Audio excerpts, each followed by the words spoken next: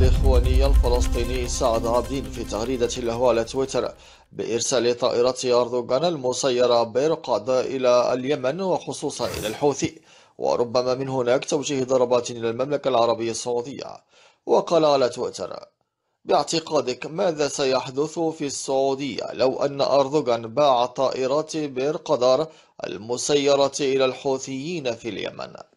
هذه التغريدة كانت كافيا لإثارة غضب السعوديين وتعليقهم بردود قوية للغاية. كان أولها رد منذر للشيخ مبارك والذي قال أي ذل وأي مهانة أنت بها لم تجرؤ أن تطلبها لكم في غزة بل حتى لم تفكر في ذلك.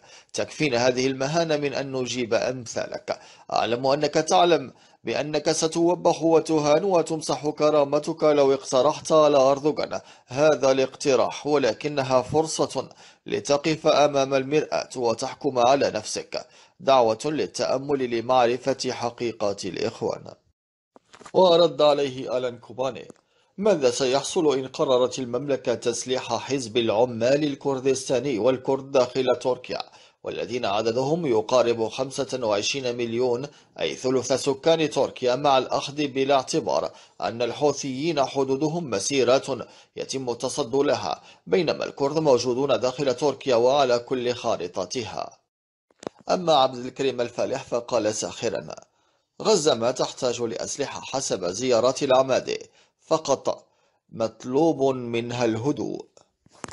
فيما قال عماد الجواب اسأل عنها سماء سوريا وليبيا حيث أثبتت النيران دفاعات جوية ليست متقدمة بأي حال من الأحوال.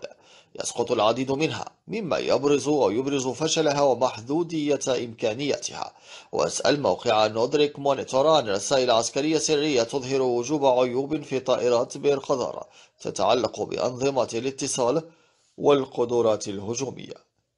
أما عبد العزيز العبيد فقال غاضبا أعتقد بل أجزم أنها ستكون محل تنافس بين تجار الخردة خردة الحديد لدينا منتهى الجبن والخنوع لم يطلبها له لتحرير أرضه. فيما قال عبد الله ومن قال لك لم تشارك في تسليحهم والباخرة التي انفجرت في البحر الأحمر وكانت تركيا تدعي أنها تحمل مواد إغاثة ولكن ربك فضحهم بدل الثرث إخوانجي اجمع من جماعتك لدعم الليرة أما أبو محمد فقال سيتم تزويد حزب العمال الكردستاني بأفضل منها يا فرخ قاسم سليماني. ولا يهمك المهم الله يكون بعون أهلنا بغزة وعذاباتهم على يد متوحش حماس.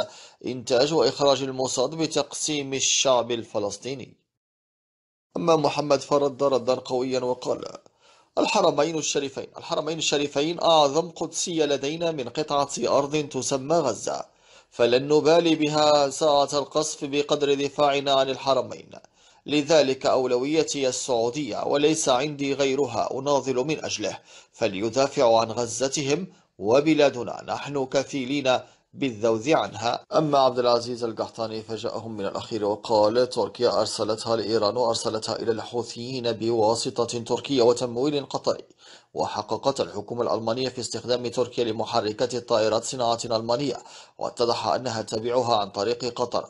ولقد أرسل الحوثيون أكثر من 270 طائرة بدون طيار ولم تصب ولا هدف ويتم تدميرها من الدفاعات الجوية السعودية.